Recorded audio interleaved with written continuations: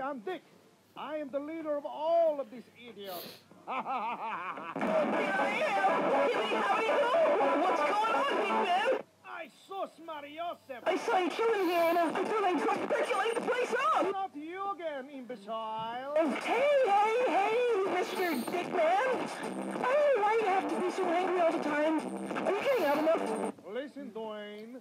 You are the landlord here. But why are you always coming here? Huh? Just to say hello? Is it maybe because you're a gay? It wouldn't be the first time I attracted a man. You're kind of like a man. Oh, come on! I'm not gay! I'm just lonely and hungry and I like you guys. Hey!